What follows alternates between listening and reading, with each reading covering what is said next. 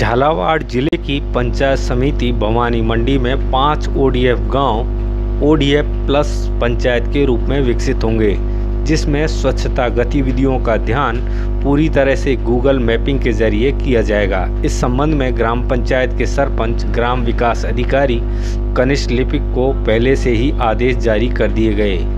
विकास अधिकारी नरेंद्र कुमार शर्मा ने ओडीएफ गाँव मिसरौली को ओडीएफ प्लस पंचायत के रूप में विकसित करने की तैयारी के कार्यक्रम के दौरान ग्रामीणों को यह जानकारी दी।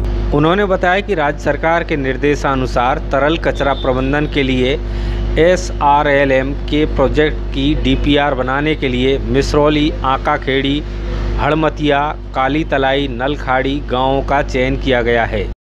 ठोस एवं तरल कचरा प्रबंधन के लिए एसएलआरएम के प्रोजेक्ट की डीपीआर बनाने के लिए ग्राम पंचायत मिसरौली का चयन किया गया। इसमें जो पानी के जल की जो निकासी है, वो निकासी को सुव्यवस्थित तरीके से, किस तरीके से किया जाए जिससे ग्राम पंचायत स्वच्छ रहे और ठोस जो कचरा है, उसका प्रबंधन कैसे किया जाए?